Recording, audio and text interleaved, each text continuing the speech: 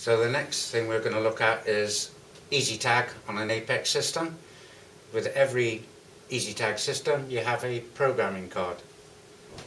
You show the programming card to the door panel reader and you select the flat. Press go and it's processing. It's already got a key in flat 1 so it's saying the next available key is When you're finished adding your keys, just press cancel to come out. This is the new key we added.